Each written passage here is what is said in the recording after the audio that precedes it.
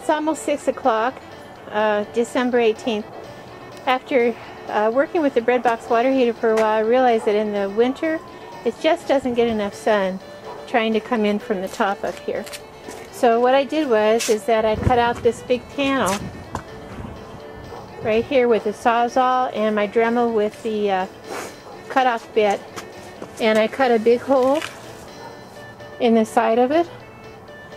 And you can see the tank right through there. And this is a painted glass right here. And we should I should be getting a lot more sun coming through this now.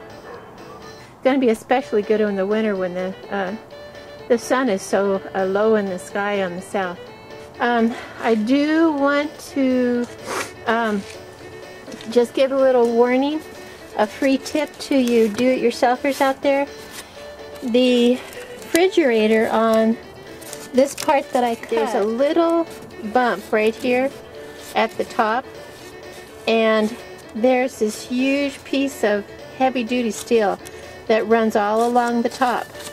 So what you want to do when you cut it is don't cut up as high as I did, but cut down just like an inch lower. And you can tell where to cut where that bump ends. So you'd cut right back here. Otherwise you're going to run into that piece of steel. And steel reinforcer. This is where the steel reinforcer was in that groove.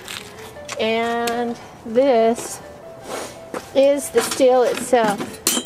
So I had to cut through that because I didn't go down low enough on the on the side panel there. So just so you know, that was a tough way to go. It took me three days to cut through that because my arms kept tingling from the Sawzall. In order to support the glass, I brought out some of my big round washers, metal washers.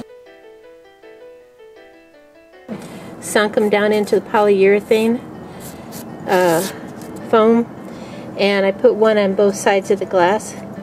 And I did that every wherever it was wiggling a little bit. But that glass is solid now. I can push against it and it's not giving well here's the solar water bread box with a new addition. Because of the winter uh, low sun I installed a front window uh, so it can catch more sun um, and framed it out. What I had available was this skirting edging and a little bit of the uh, roof edging.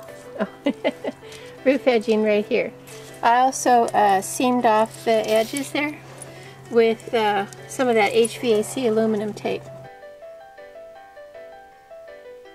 inside outside I also uh, underneath uh, here I put that uh, heat resistant silicone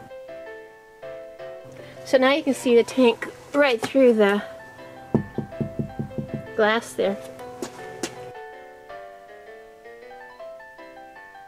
So it's getting sun from this angle here and this angle here on top. The roof is reflecting sun. So we'll see how that goes now. I like that a lot better. So we'll see how she goes. I may be getting hot water here. Uh, Mom uh, and I did find a, a, temperature gauge that I like better than the one I had in there. This one here um, is a oven thermometer. It's showing 100 right now and it's pretty darn cloudy day. Even on a cloudy day like this we're getting 100 so that's pretty good. Wow. Proud to say that the bread box water heater is done. Everything I can do to it.